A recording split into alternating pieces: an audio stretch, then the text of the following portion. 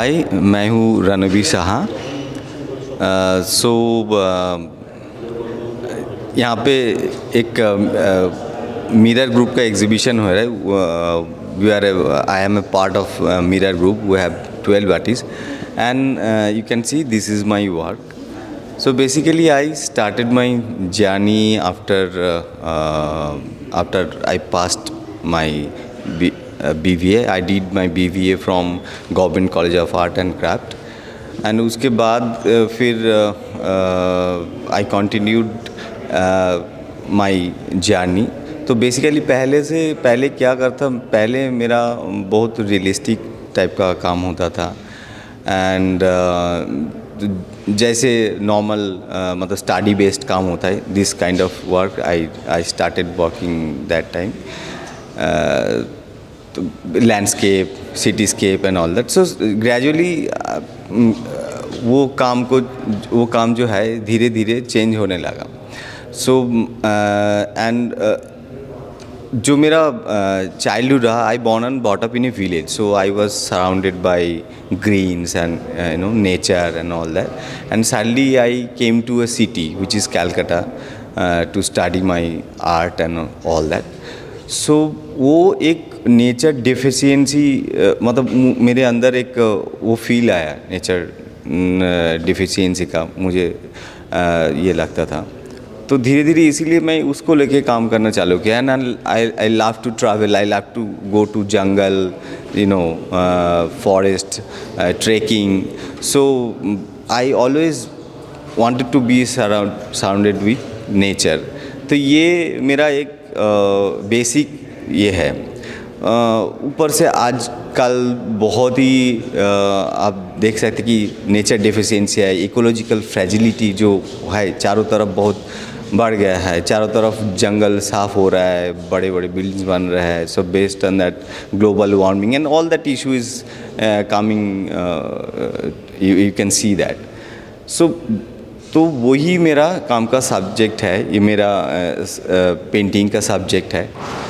And colors and forms and uh, texture. I, I took it from you know jungle and uh, so I inspired from them. So if you can see this area there's a grass land kind of thing and and you know uh, maybe some uh, pattern some form that comes from uh, uh, forest. Trees and वो nature में एक कैवस होता है और उसके साथ एक pattern भी होता है। दोनों एक साथ रहता है नेचर में। एक एक जगह आपको बहुत कैवस दिखेगा और सडनली दूसरी जगह बहुत अरेंज ये दोनों फॉर्म माच करके नेचर में रहता है। तो वो आ, मैं आ, करने का कोशिश करता हूँ।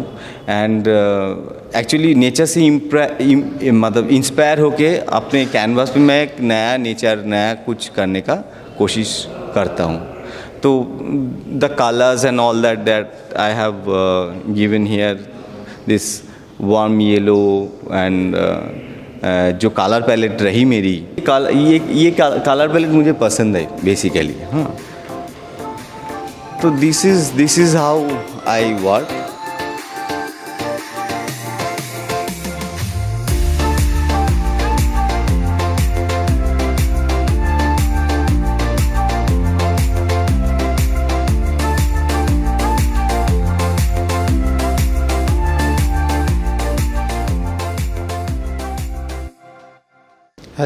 Hi, Devanshu Vishas. My painting is uh, nature based, totally nature based. हम लोग ये सोचते हैं नेचुरल डिजास्टर ये टोटली नेचुरल डिजास्टर नहीं है ये टोटली मैन मेड डिजास्टर होता है। जितने सारे मेरा ट्रैवल जर्नी जो है काफ़ी सारे हिल्स है। हिल्स में आजकल बहुत ज़्यादा लैंडस्लाइड हो रहा है। जस्ट हमारी वजह से ही हो रहा है। और कोई कारण नहीं है। जितने सारे हिल्स देखिए, यहाँ पे हिल्स तो होता ही नहीं है। नॉर्मली घर होटल रिसोर्ट ये सब बनाते ही जा रहे हैं। उसके बदले में इफ़ेक्ट क्या हो रहा है? लैंडस्लाइड हो रहा है, बाढ़ आ रहा है, सब कुछ हमारी वजह से ही हो रहा है। तो अभी भी टाइम है हमारे पास, अभी भी है। तो थोड़ा सा सुधर जाए हम लोग हम लोग सुधर जाए। नेचर नेचर को कुछ नहीं कर सकते। और दूसरी बात नेचर को हम लोग सोचा है इंसान सबसे पहले तो नेचर हमारी है, और भी बहुत कुछ है नेचर के लिए। काफ़ी सारे एनिमल्स है बैक्टीरिया है फंगल सब कुछ है। तो उनके लिए हम लोग कुछ नहीं छोड़ रखे। जैसे कुछ पेंटिंग में मेरा कुछ जो लीव्स ट्री तो है, सूख गया। जिसमें पेड़ को काट के हम लोग सबका ड्रीम है एक घर बनाए, एक कुछ हो। लेकिन घर बनाते बनाते ट्री इतना कम होते जा रहे हैं पेड़ पौधे तो हमारे लिए प्रॉब्लम क्रिएट हो रहा है। और ये लॉकडाउन फ़ेज़ है कुछ वो, और लॉकडाउन अनलॉक फ़ेज़ है।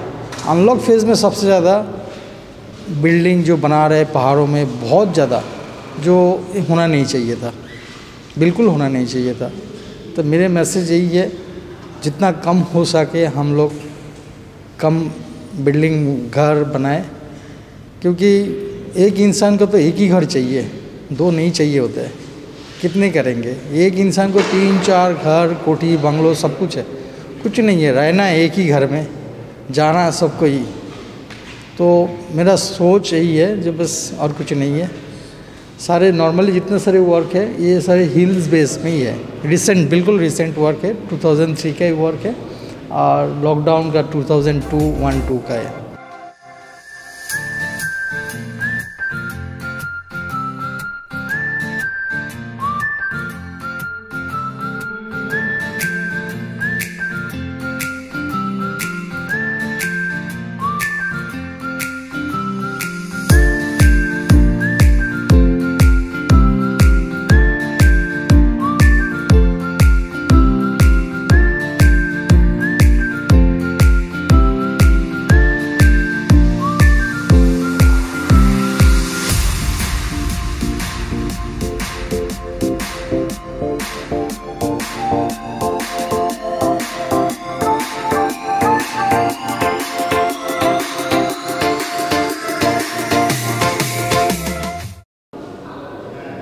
Hi everyone, I'm Ridhima, and I sort of stumbled upon the mirror this evening, this exhibition, and I think here the most I connected with were these paintings right behind me.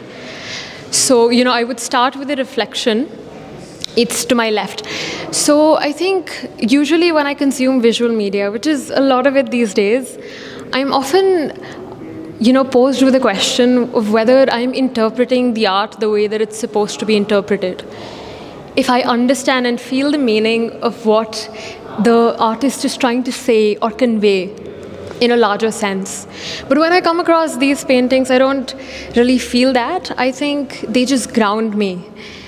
All of them have very muted, very grounding, earthly colors. I think the, the brightest one is squares and circles. And even that sort of has a calming quality to it. They all have very straight lines, but if you look a little closely, you will see in the technique and in the texture, they sort of are haphazard designs as well. I, I, like that juxtaposition.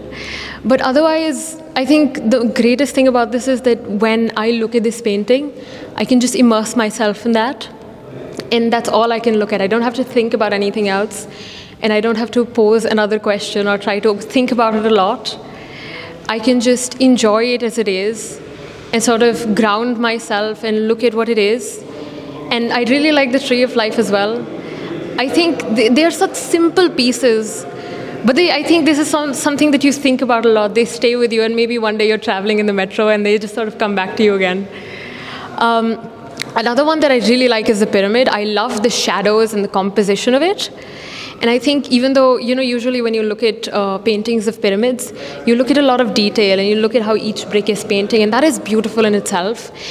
But here, it's, that detail, you're not muddled with that detail. It's a simple geometric shape. But when you look closer, it's a bit, there are haphazard textures as well. And yeah, that's something I really like about these. Thank you so much for having me.